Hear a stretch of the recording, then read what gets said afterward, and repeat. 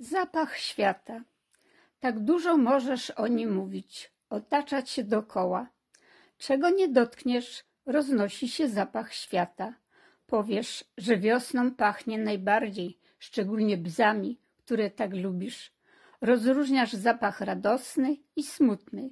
Oba przynależą nam ludziom, ale najbardziej pamiętasz zapach domu, który przypomina ci głos matki, zapach twojego dziecka, które uśmiechało się do ciebie.